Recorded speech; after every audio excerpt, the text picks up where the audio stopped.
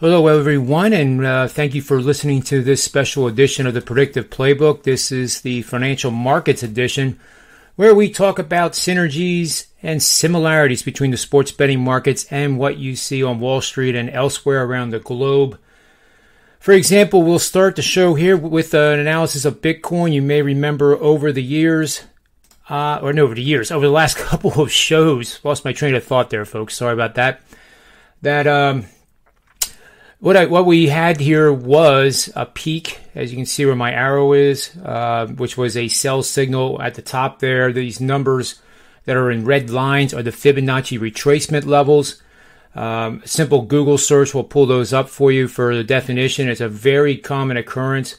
Um, Japanese candlesticks have actually been used for market evaluations, believe it or not, uh, dating back 2,000 years was used by uh, the Chinese back in the day, and why they're called Japanese uh, candlesticks, I suppose. But nevertheless, what we have here is a weekly bar chart of Bitcoin and the current futures contract. Um, I never have ventured into the actual platforms of actually buying the asset. Um, still, honestly, trying to figure out like how that all works. I, I, get it. I understand how it works. I, I think there is definitely uh, a lot of applications that will benefit from it in years to come. Um, but I can get in and out with the futures. I can get short by shorting the contract, just like I can short bonds or the S&P 500 or cotton or live cattle or crude oil even, which we'll take a look at very um, soon. So you can see in the weekly here, we, we basically have been chopping around between the 61.8% retracement line, which is this one right here, and the 50% retracement line. Every time it's gotten back through that, it has, you know, failed. Most notably, three weeks ago, we looked like we were going to rally again, but um, you may remember Steve and I both said caution is the better part of valor. And sure enough, you get an inverted hammer, then you get a move down below 29,000 fresh lows in this whole downtrend. And now this week we're having a pretty steady rally. Now let's move to the daily and the daily bar chart. And by the way, this is just my opinions. You know, I highly recommend and encourage you to seek out um, advice from a from a certified professional. I, I am a trader, but I am certainly not a certified professional in the field. So these are just my opinions and um, and that's all I'm doing here. Much like I share my opinions on who's going to win tonight between the Phillies and the Marlins later on today at the at the uh, Manny's Pub Show, and uh, now we're looking at a one-year daily chart, and you can see the big dramatic rally. You know, it basically started when uh, COVID was at its worst, and a lot of times these bottoms in all kinds of markets will occur at these specific levels where the sentiment just gets crazy bad negative. Uh, you know, you, if you would tell anybody you're you're buying something in this particular situation, they would tell you that you're out of your mind, you're crazy. And if that ever happens to you, take that as a good sign. You know, you want to be you want to be buying just like in the sports betting market. You want to be buying low on teams. You also want to be buying contrarian to the public opinion, and that also includes the Joes and the pros together. And that was a common um, saying, and still is, that uh, pros and Joes, you know, the pros are the professional bettors, the big size wagers, um, are way better than the public uh, better, which is just the casual weekend. Uh, well, gee, I have a gut feeling I'll bet on the Eagles this weekend. Um, and there was certain truth to that, but now, you know, with the increase in wealth in our country over the last 20, 30 years, you know, it's not uncommon for a, a public better to be able to throw 10 grand on casually um, because of their their wealth. It's all relative, and I can't I can't stress that enough. But this is a daily one year back, so let's uh, let's zoom in here at least from the peak to where we are now.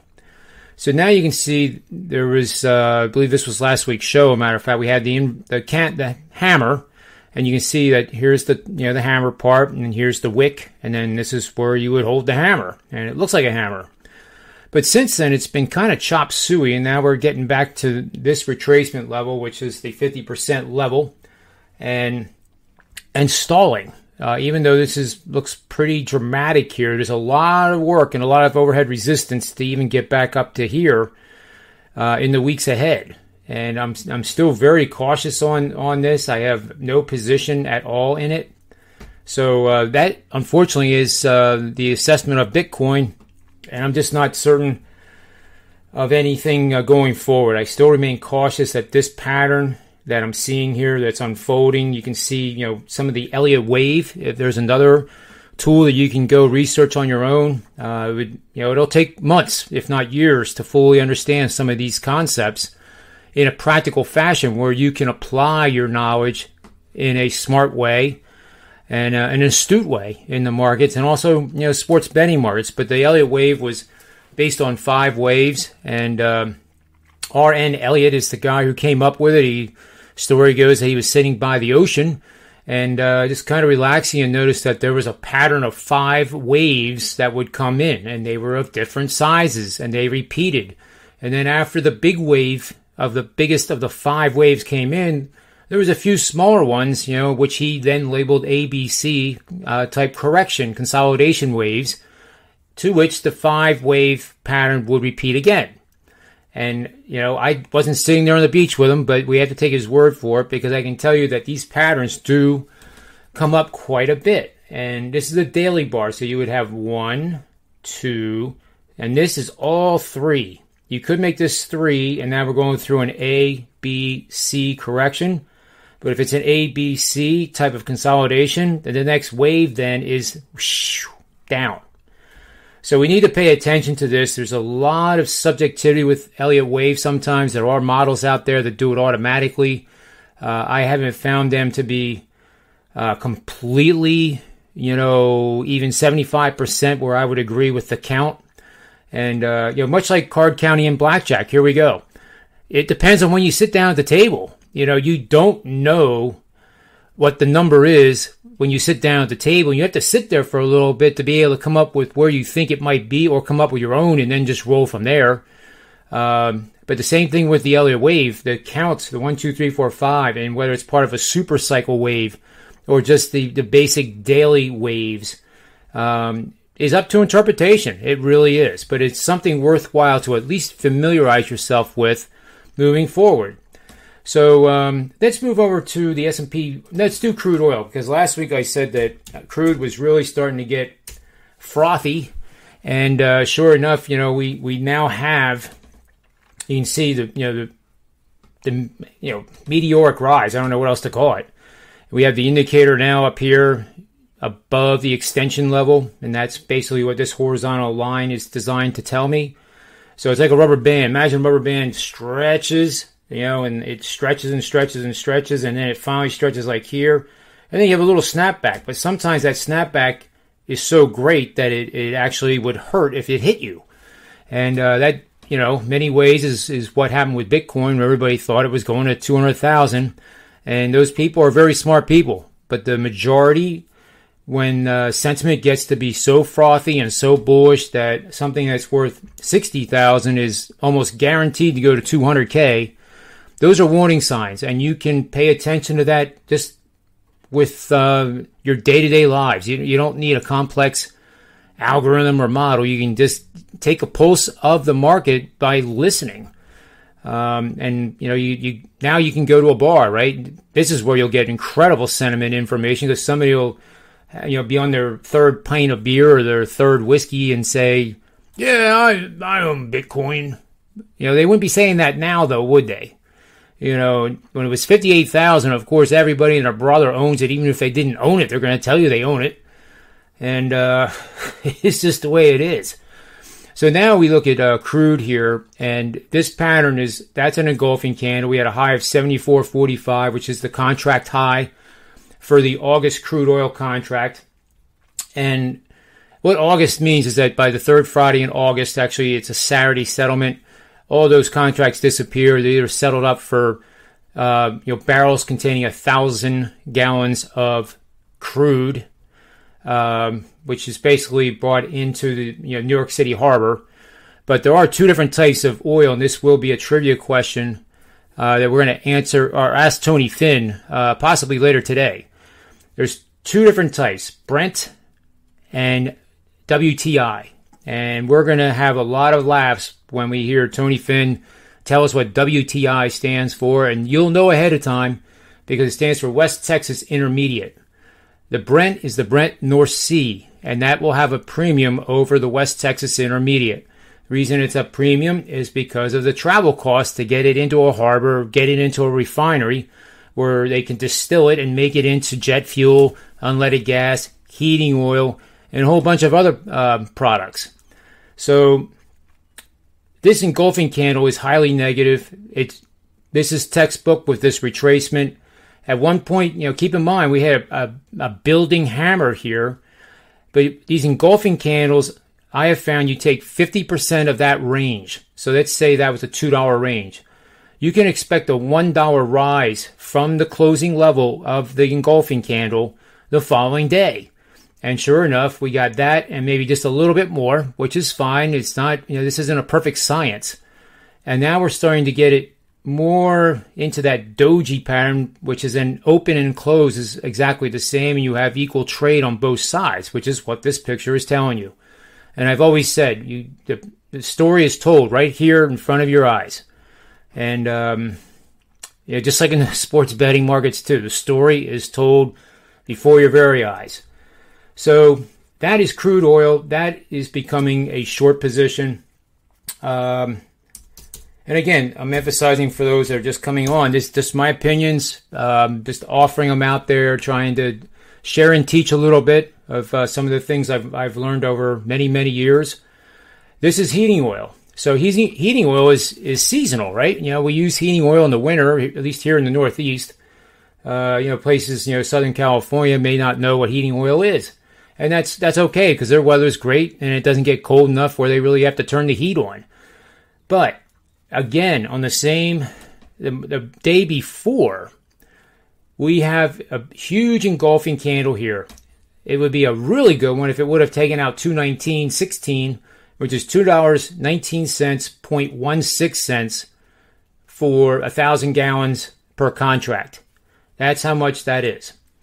So You'll, you'll notice too in your heating oil bill, like the, the contract uh, that you have may say three dollars and forty cents, and that's the margin that they they have to to work with. And you keep in mind they have to pay for the trucks, they have to maintenance the trucks. The you know the tankers have to bring the oil to you. They have to pay the guy to actually drive the truck and put it in your tank, and those things all add up. Um, but there is a, um, and this is not an advertisement, but I just thought of it cashheatingoil.com. So that's cash, two H's, cashheatingoil.com. You stick in your zip code and you'll be amazed at what you can have delivered to your home as compared to the contracts that you have with some of the other businesses that you know take care of your furnace and, and clean it up and maintenance maintenance uh, it you know once a year. And I have found that there's plenty of people out there that are qualified and licensed to do that kind of work for you once a year without being tied to a, a cash heating oil price. And you can save an awful lot of money by doing this. So cashheatingoil.com, I you know I, I get no nothing from it, but I learned it from a friend and uh, checked it out. And again, you know that's how we improve ourselves by listening to what other people say sometimes and taking their advice and seeing if it works for you. So uh, heating oil here is doing the same thing as crude did. And then uh, lastly here, we'll look at the whole circuit. And this is the uh, unleaded gas. So it's same chart basically as crude. Obviously, unleaded gas is and heating oil are made from crude oil. There's a ratio of those three that is called the crack spread, and you can research that as well and the history of how that uh, came to be named that. So in this particular case, we already have a massive engulfing candle. And what this is telling you is that these prices had already factored in the vacation months. And now we're in August in terms of the contract that we're looking at right now.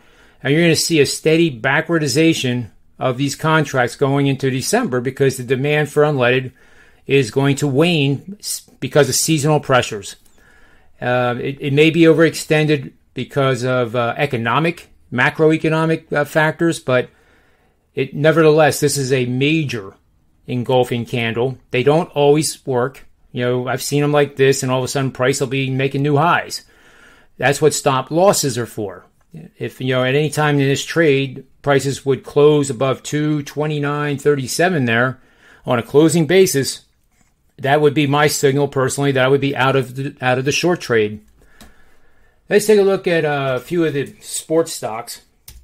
Look at Endeavor, which is uh, what we've been following with the UFC, and he went public back here. Um, you know, huge day. IPOs are always a lot of volatility.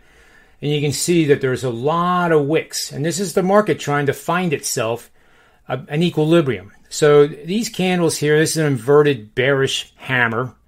Uh, so that obviously the hammer points in the direction of, of where price is going.